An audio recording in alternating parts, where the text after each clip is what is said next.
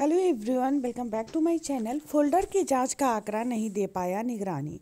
नहीं मिली जाँच रिपोर्ट निगरानी और शिक्षा विभाग के बीच आज तक झूल रहा फोल्डर जाँच का मामला।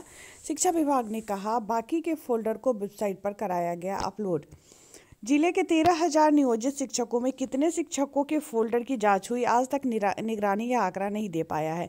निगरानी और शिक्षा विभाग के बीच आज तक शिक्षकों के सर्टिफिकेट फोल्डर का मामला जो है, झूल रहा है। शिक्षक बहाली फर्जीवाड़े को लेकर ज़िले के सभी शिक्षकों के सर्टिफिकेट फोल्डर मांगे गए थे।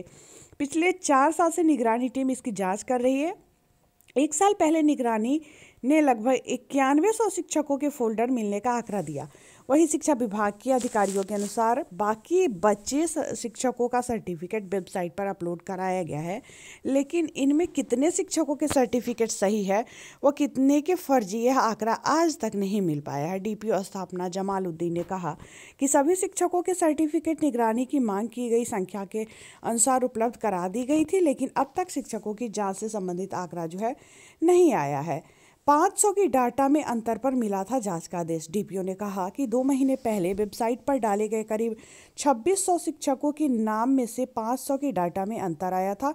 शिक्षकों के डाले गए रिकॉर्ड में भी कुछ गड़बड़ी थी। इसे लेकर सभी बीओ को आदेश दिया गया था कि इन शिक्षकों की संख्या और नाम की जाँच कर रिपोर्ट सौंपे।